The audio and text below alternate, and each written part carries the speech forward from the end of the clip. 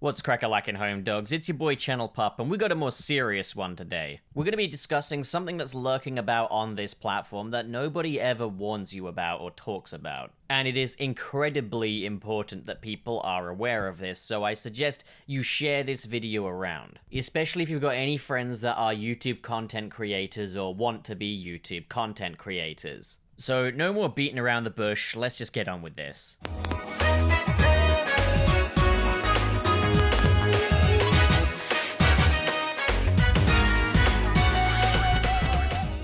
So you may have noticed, I think five or six days ago, I disappeared off of the face of this platform. And I know that some of you noticed that my videos started disappearing, that my name was suddenly changed to Foundation RPX. At least 80 people noticed because I dropped 80 subscribers at that time. So I'm going to explain to you what happened. Obviously, this channel was hijacked by hackers, and the way that this happened was something that I am partly responsible for. It is something that I myself enabled. So here's one thing that people don't tell you about. YouTubers do not make a lot of money through YouTube and its ad revenue alone, and we often need to find other methods of making income, be it Patreon, or channel memberships, or merch, or sponsorships. People tend to assume that YouTubers are just being money hungry when they take sponsorships, but the reality is most YouTubers are money hungry because they will be food hungry if they are not. I hope that makes sense. For the more slower of you, it just means we're broke. Hey, no shame, man. Everyone digests information at their own pace. So oftentimes a YouTuber has to go out and search for companies to sponsor them, or sometimes we're approached by individuals that want to help out. And sponsorships can be very hit and miss. In the times where they're purely commission-based, you can be doing a lot of advertising for no payment.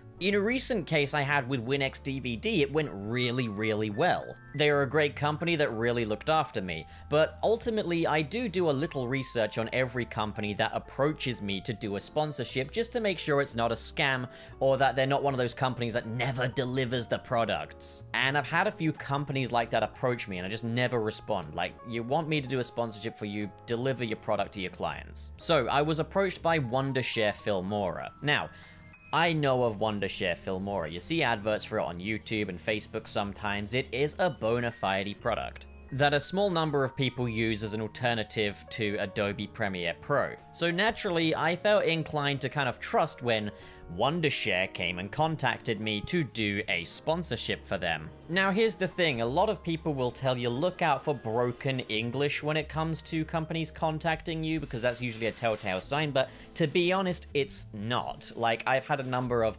perfectly fine, kosher sponsorships contacting me in broken English. I think anybody that's ever bought a cosplay knows that some people deal with broken English, and it's perfectly normal. Not everybody speaks English as their first language, and it can be very tricky for them. Sometimes other people have to rely on translation, which isn't always entirely accurate, so I'm fully understanding of that. So Filmora send me a link to their website where I can download a demo for their software. They give me a license key, and it all looks about right. The website looks exact one-to-one -to, -one to what the Filmora website looks like. And there's nothing on Opera or Chrome that's flagging up this website as potentially malicious. It's perfectly fine. But the URL is slightly different. It's a little bit more simple than the other one. So I did text to ask about that, and they said this was just their affiliate portal. Which again is pretty standard fare for sponsorships. When I dealt with NordVPN, they had a different affiliate website to their main one.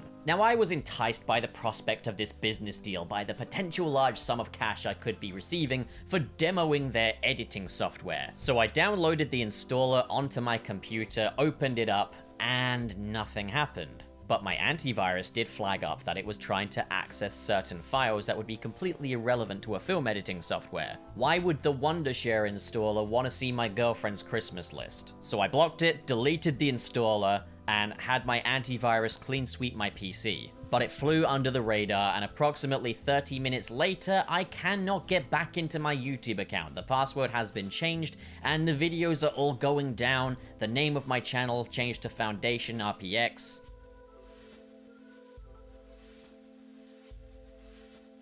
Three years of hard work all gone. And it's a moment that's kind of stuck with me. Because to others, it is a YouTube channel. I'm just a guy on social media that makes videos and makes a little money out of it. But for me, this was not only my entire livelihood going down the drain, and something that I had worked three years to achieve, it was a channel that I had put a lot of my heart and soul into. And I was just kind of sat there watching it change into a Ripple impersonator. Now, this has been an ongoing problem in 2020 of channels getting hijacked to host fake Ripple channels. So there's basically a scam going around masquerading as the Ripple XRP cryptocurrency. These scammers want to look as legitimate as possible, so they'll try and take channels with a certain following and with a certain watch time data. Like, you know how when you receive a friend request from somebody and they've got no friends whatsoever on that account and no profile pictures, no prior posts, you usually just delete that request because you assume something fishy's going on there. What these guys are doing is taking accounts that already have a following and data. In some cases, they've taken channels with around 500,000 subscribers and a verified checkmark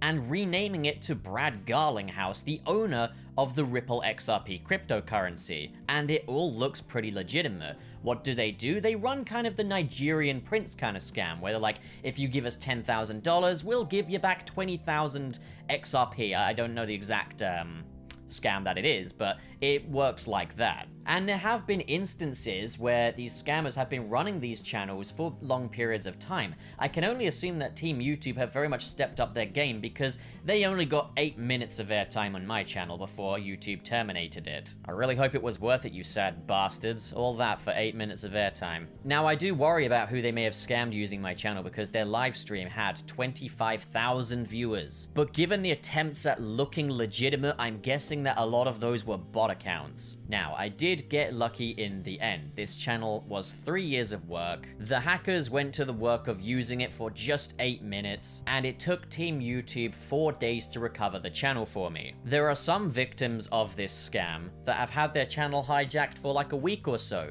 allowing these people to scam numerous people losing thousands of subscribers in the process. And for some, this isn't just going to be three years of work. This is going to be their life's work. This could be something they've put all of their heart and soul into for their entire life gone. YouTube has terms of service, but nobody gives you a rule book on what to look out for when you're planning on expanding your income. And people really do need to be aware that there's a lot of fraudulent sponsorships that are out to get you. You're just trying to make an honest living, but there are people out there that want to ruin that for you. Now, the virus that you get with this can vary, but I must have gotten a pretty aggressive version of it because one day later my laptop shut off, zero power going to it whatsoever. I could not get it back on. Couldn't do it if I tried, and I tried numerous different methods in fact. In the end, I opted to buy a refurbished laptop, with fortunately all of the essentials I need to run this channel all on an external drive. So what I would suggest to anyone being approached by a sponsorship that looks really enticing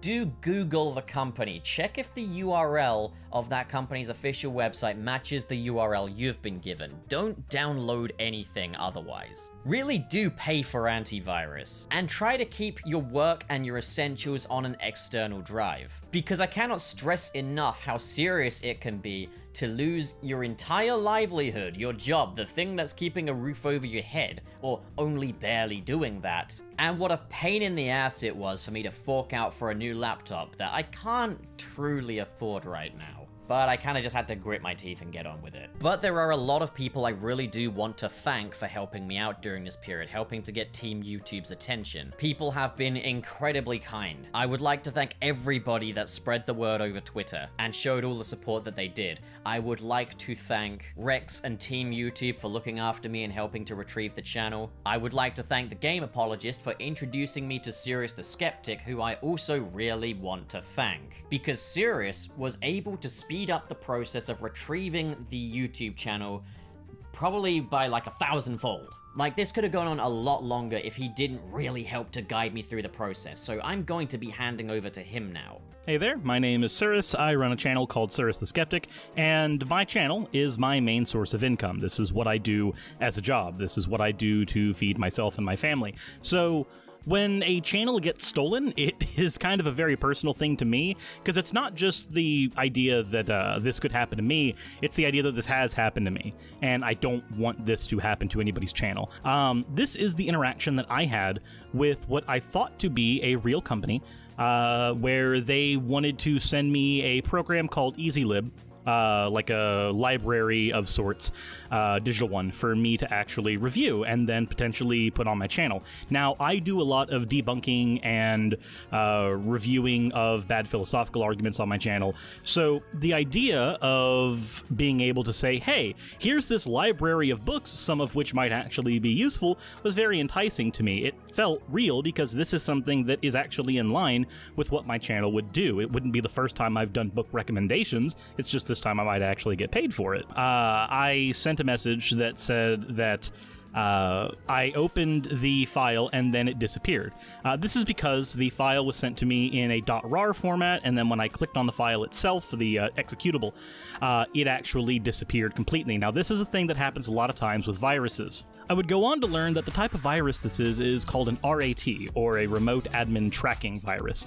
Uh, if you're noticing, that also spells out rat, which I think is very fitting. What the RAT does is it stays inside your computer hidden, and it does various things. One is that if you log into an email, uh, it will automatically grab any information from that email in a scan. Uh, if you happen to log into any website, it will go ahead and do a keylog of whatever you've done, uh, and anything that you have open. So, for instance, if you've got Chrome open, and you are logged into something on Chrome, it will go ahead and infect your Chrome software and grab your Gmail from there. And that's how it got me, because I didn't log into that. It didn't have to keylog to log me in, though. All it had to do was grab my information from Chrome. Now, these types of software can also be included with something to brick your computer uh, to prevent you from being able to fight back. Uh, I actually have a machine that has been bricked by this software already um, because I have the computer I edit on and then I had a backup computer. I opened one of these emails on that backup computer after having gone through all of this and the computer got bricked. I have to reinstall the operating system on it. So this stuff is no joke. It's dangerous. It cannot just take out your channel, it can also take out your hardware. But I've got a bunch of screenshots uh, from the various areas that YouTube asked me for, uh, for evidence that this was in fact my channel. If Pup wants to include those, uh, that's up to Pup. But I've got stuff like when the recovery email was changed, meaning I couldn't get into my email address anymore to get my account back, uh, evidence of when they changed the password itself, uh, I have screenshots from when they changed my recovery questions, meaning that even the bare minimum stuff, like the base security measures I could use to get into my channel, were taken away. Um, I've got screenshots from my Patreon where the videos that had been put up on my Patreon were deleted because as my channel had been stolen, uh, they changed the name to Ciceribi Gaming uh, as opposed to Suris, and then started deleting videos from it. Now, Pup, I know this is basically what happened to you when your channel got stolen and turned into Bitcoin Apologia. So this is a thing that happens to a lot of YouTubers.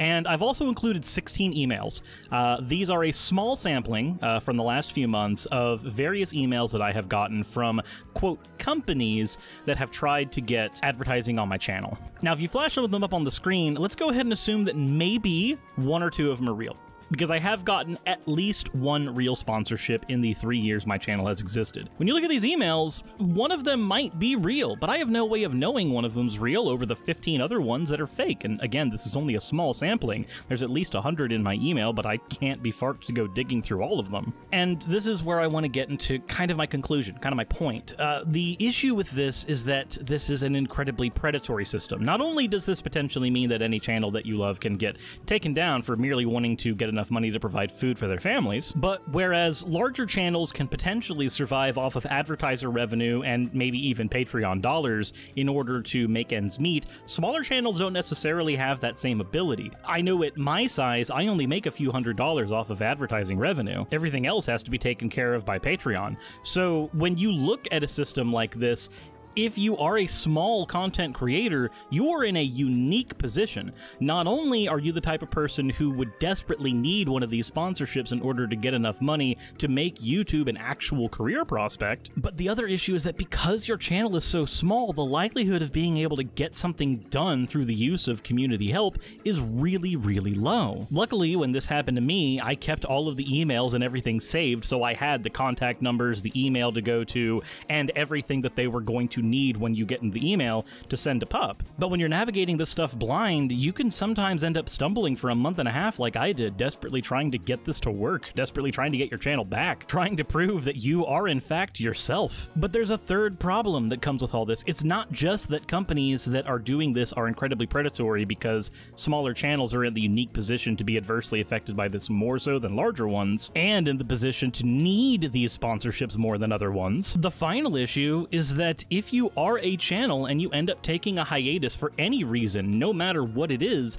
the YouTube algorithm doesn't promote you the same way when you come back. I got my channel back months ago, and I'm still struggling to make up the same numbers that I used to have back before my channel was taken. This is because YouTube's algorithm generally favors it when you are able to put out consistent content at the same time on the same days. However, if you experience a disruption in that schedule of more than a couple days, the YouTube algorithm generally stops favoring you. Putting out consistent, regular content is what lets you grow a channel right now. You can't just rely on a handful of viral videos. So not only is it predatory to do this, and not only are smaller channels put in the unique position of being mostly adversely affected by this, you can sometimes get a channel that will simply never recover from the backlash of this. There's a myriad of reasons why these shady companies might be stealing channels. Some of them steal them so that they can sell them to other companies that use them to make mashed style clickbaity fluff videos. It also might be stolen for Bitcoin apologia like what happened to Pup. But whatever reason a company is attempting to steal your channel,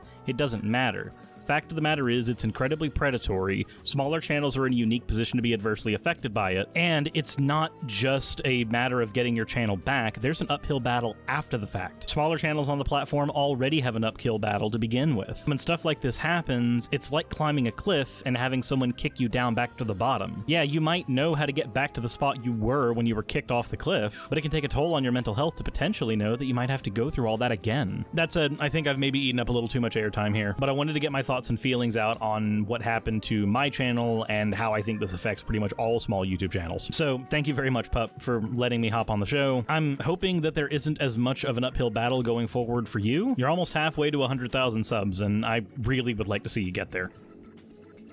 So I understand this has been a bit of a long one and a bit of a serious one. I understand this isn't the topic that people tend to watch my videos for, but I really do ask that you help me get this seen because it is very important that people talk about this. It is important that this discussion is on the table. I would also like to thank XD Gamer and Channel Kyle for trying to get the word around on YouTube that my channel was hacked. And of course I would like to thank Kinnundo for starting a GoFundMe campaign to help me afford this laptop.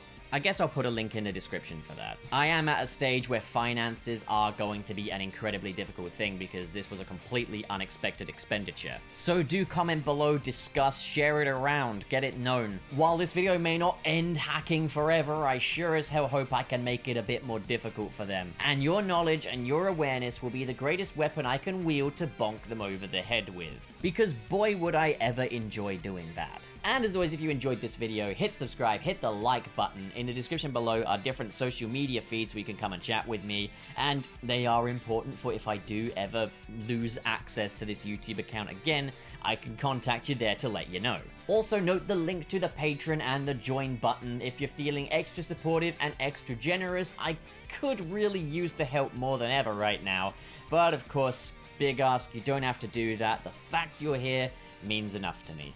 So thank you so much for watching, fellow home dogs, and have a great day. But most importantly, stay safe.